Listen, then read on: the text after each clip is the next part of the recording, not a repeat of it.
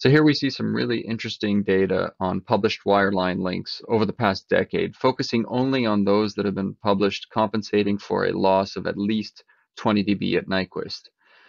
And we see a continued progress in terms of reductions in power consumption, normalized here to the transmitted data rate. And the units therefore become picojoules per bit, or equivalently milliwatts per gigabit per second of the link. We see this great downward trend, increasing energy efficiency, decreasing energy per bit as process technology scales. Now going from, say, 45 nanometer down to 28 nanometer, a lot of that progress was improving analog transceiver circuits.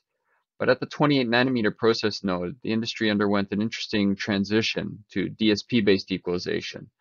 And so as a result, you see at this node a very large spread in power efficiencies observed. Some transceivers were very efficient, but others that were making the early transition to DSP were relatively inefficient. But then the gains from that transition to DSP were realized in the coming technology nodes and continue to be realized today.